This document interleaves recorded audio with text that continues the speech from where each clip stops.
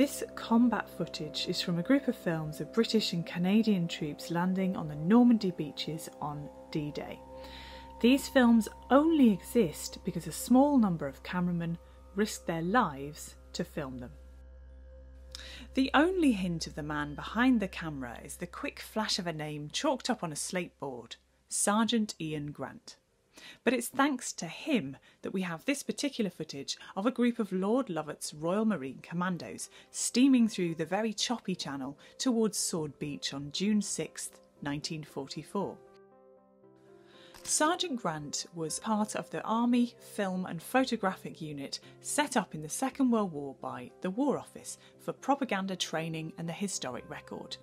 They were a team of serving British Army soldiers armed with a cine camera and a revolver.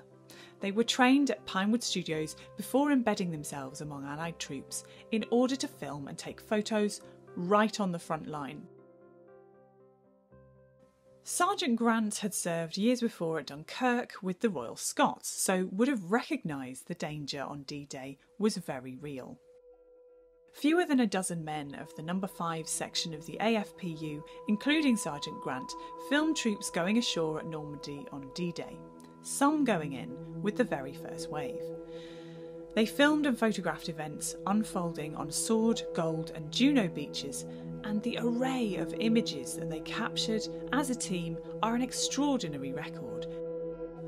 Sergeant Grant later recalled the massive noise of battle as the commandos landed, the sound of rockets, guns firing from Allied ships, machine gun fire from the enemy, he even heard Lord Lovat's personal piper, Bill Millin, playing his bagpipes. And yet the film is mute.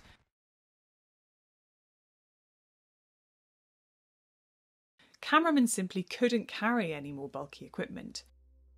One of the cameramen on the same beach as Sergeant Grant filmed four minutes of striking footage before being seriously injured from a mortar shell, while another of his AFPU colleagues was wounded in the elbow by machine gun fire.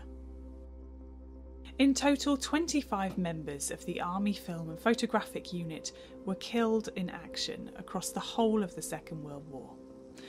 The legacy of that unit's footage still lives on and now the stories behind the names on the chalkboards which started each reel of film are beginning to be told.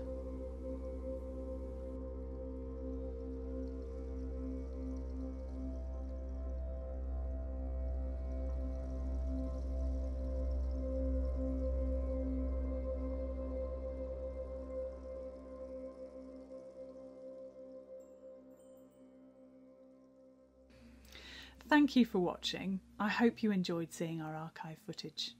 Just a reminder, please do subscribe to IWM's YouTube channel for more archive films and lots more.